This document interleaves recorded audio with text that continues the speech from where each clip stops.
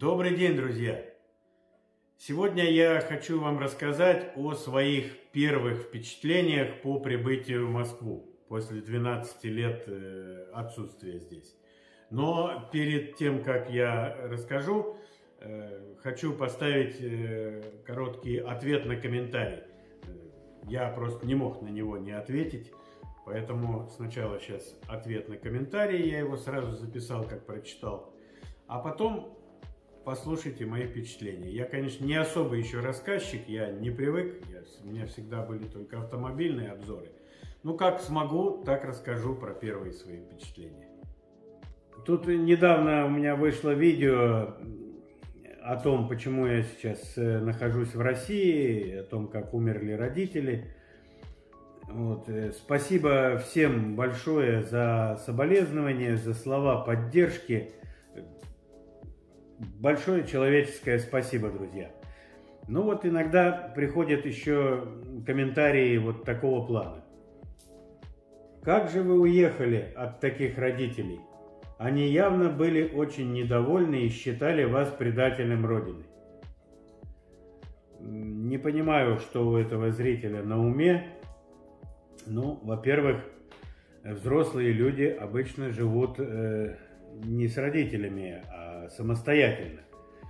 И нельзя сказать, что я вот уехал от родителей куда-то. Дело в том, что живя в Латвии э, и в Литве, когда жил, родители ко мне приезжали погостить, я делал приглашение. Все у нас отношения всегда были нормальные, и, естественно, меня родители ни в коем случае не считали предателем Родины.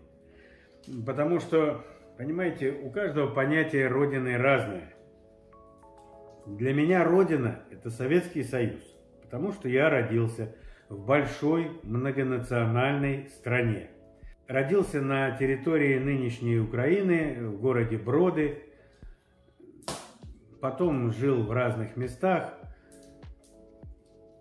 Поэтому, понимаете, для меня Родина – это не Россия, не Украина, там, не Латвия. Для меня Родина – это территория бывшего Советского Союза, потому что я там родился, я там вырос, я получил в СССР образование, я служил э, в военно-воздушных силах 10 лет в СССР. И, в общем-то, мое детство, э, молодость, э, юность, все прошло в стране под названием СССР. Поэтому для меня Родина – это вся территория бывшего СССР. И то, что я жил там в Латвии, в Литве, в Украине, в России, это все я жил на родине, это моя страна. Так что, друзья, родину я не предавал, а потом я считаю, если человек не занимается политиканством, политикой, там, не обсуждает какие-то там правительства, их там действия и так далее, то как этот человек может быть предателем? Какая разница, где человек живет и работает? Я все равно жил и работал всегда на территории своей родины. И родители меня не считали предателем родины. Так что, дорогой товарищ, зритель, если тебе это непонятно, то очень жаль. Я не собираюсь никого переубеждать. У каждого своя родина, свои понятия о, родине, о родине и свои понятия о предательстве. И еще раз хочу сказать спасибо всем зрителям и подписчикам, которые написали теплые слова соболезнования и поддержки. Спасибо, друзья! Ну вот на комментарии я ответил. Теперь впечатление о Москве. Ну, естественно, что сразу бросается в глаза, это появилось очень много э, новых развязок, дорог. Конечно, даже не ожидал такого увидеть. Очень много за это время построено дорог. И движение по Москве при таком количестве машин в общем-то, ну, скажем так, приемлемая. Также очень много построено домов. Ну, вот мне лично это не нравится, потому что вот э, приезжаешь в знакомый район, смотришь, а он, в общем-то, и незнакомый, потому что столько домов понатыкано везде. Ну, вот все говорят, там в Москве парки, там зелени много, там все это красиво. Да, красиво. Те парки, которые сделаны, конечно, красивые. Но вот э, по моим воспоминаниям, где раньше, ну пусть, может быть, не было так красиво, но зелени было больше, на мой взгляд. Потому что очень много понатыкано домов. Вот, э, например, э, квартира родителей моих, там какой-то пустырь был, я там с собакой гулял в свое время – Пространства больше было, пространство. Сейчас все застроено. Буквально все места, где только можно поставить дом, там он стоит. В общем, мое впечатление это каменные джунгли. Не очень комфортно после Латвии, Литвы. В Латвии и Литве простора больше. Естественно, людей в городе тоже намного больше, чем э, было раньше. И что я заметил, очень много иммигрантов. То есть вот э, с, со Средней Азии оттуда очень много. Просто бросается в глаза. Так как Германии бросается в глаза, вот э, там много всяких иммигрантов из арабских стран, так у нас со Средней Азии, здесь вот в Москве. Это тоже бросается в глаза. Люди ну, мне кажется, стали как-то поспокойнее. Несмотря на вот этот ритм такой вот э, очень активный, все-таки в Москве ритм очень ускоренный по сравнению там, с Латвией, с Литвой. Но при этом люди как бы поспокойнее. Или, может быть, им все пофигу, как говорится, но какие-то такие спокойные, потому что э, в начале 2000-х э, было немножко не так. Люди были более такие какие-то возбужденные.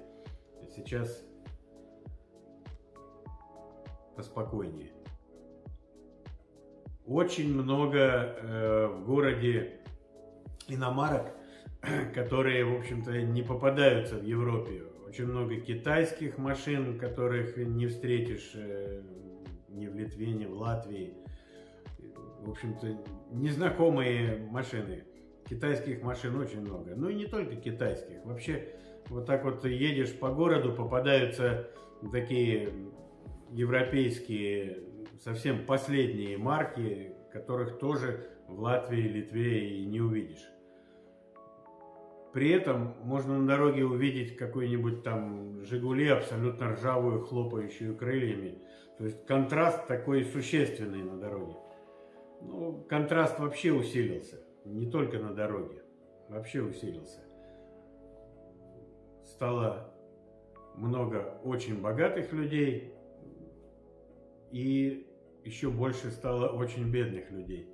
В магазинах тоже. Вот заходишь в магазин, например, дорогой магазин, тут вот э, азбука вкуса, там еще какие-то, я не запомнил еще название.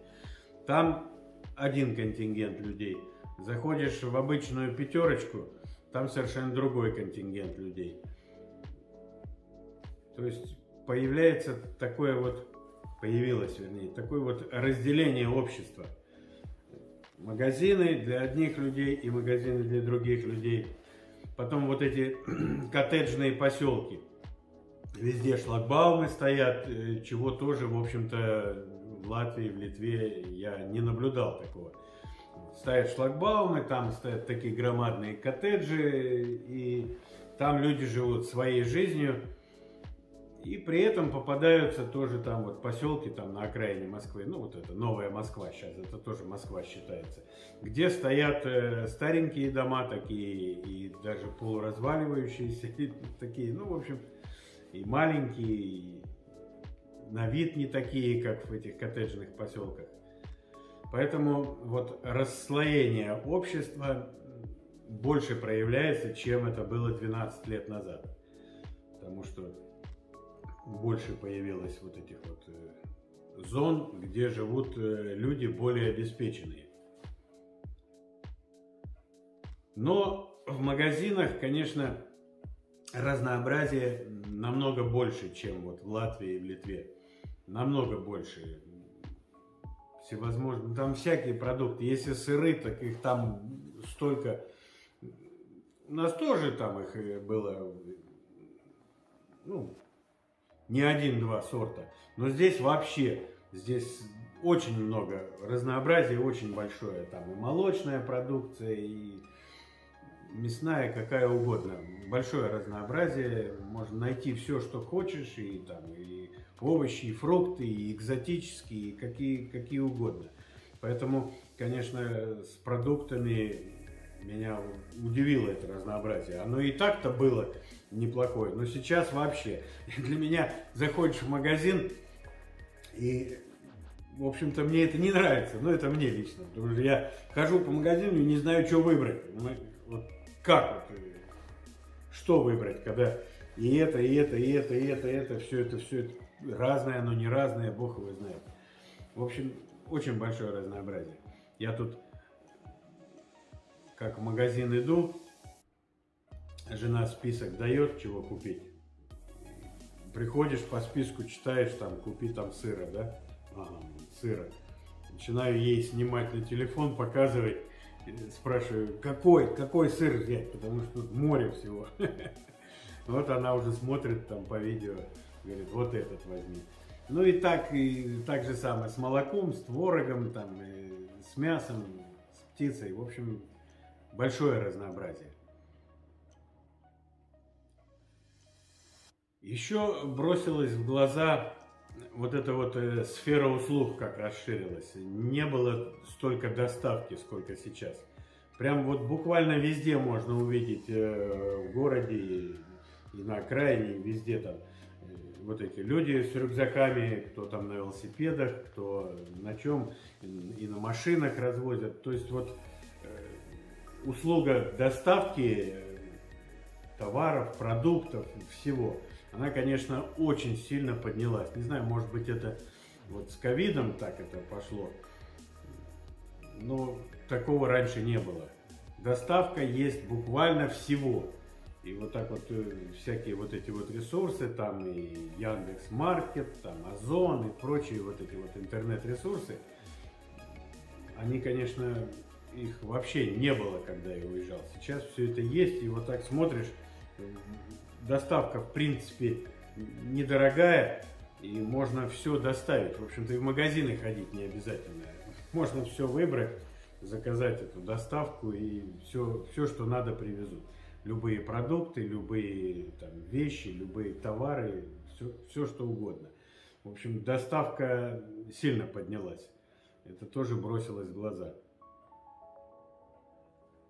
Очень приятные кафе, рестораны, вот э, поскольку я сейчас вот как бы живу ну, на окраине, можно сказать, за городом. Раньше это было за городом, сейчас это новая Москва.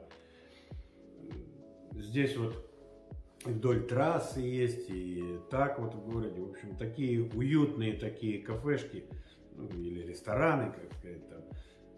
То есть зона сделана такая на улице очень приятная. И внутри, но, в общем-то, недешево, недешево.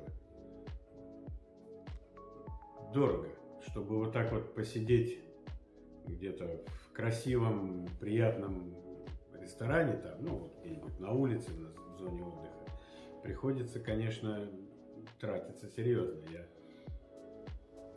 один раз посетил, ну, в следующий раз только если какой-нибудь будет серьезный повод.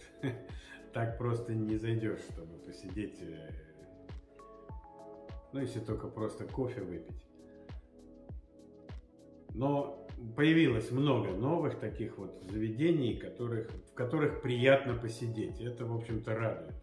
Я вообще люблю кафешки, всякие такие вот места, которые можно на природе посидеть. здорово, я не думал, что так тоже сильно это все раскрутится. В Литве мне нравится, там очень много кафешек, каждая по-своему интересна, и посидеть приятно. И, в общем-то, сейчас здесь тоже такое есть. В этом тоже догнали, здесь не хуже, чем в Литве, вот эти вот кафешки. Еще хочу отметить, вот на дорогах э, люди не особенно-то соблюдают правила. Очень много присутствует таких э, моментов, когда э, кто-то там едет из, из полосы в полосу и подрезают, и влазят все время. Для меня непривычно было то, что вот я соблюдаю дистанцию, а ее невозможно соблюдать, потому что только дистанция появилась, раз кто-то уже влез а дистанцию оставил, раз еще кто-то влез. Ну, невозможно просто. И вот скоростной режим тоже. Если, например, у нас там где как, ну, грубо говоря, 5-7 километров можно нарушить, там, превысить скорость, то здесь э, эти камеры, они до 20 километров э, вот этот вот запас. И если, например, знак стоит 60, ну, люди едут под 80. Я тоже к этому не привык. Ну, стоит знак 60, и стараешься держать 60. Смотришь, едешь медленнее всех, все тебя обгоняют, ты уже как не такой, как все. Поэтому как-то это непривычно, надо тоже втягиваться в это дело. Ну и везде, вот везде на дорогах, везде выделенные полосы для общественного транспорта, для такси. Тоже надо привыкнуть к этому, чтобы на них не заезжать, потому что камер неимоверное количество везде много на дорогах. Камер просто полно.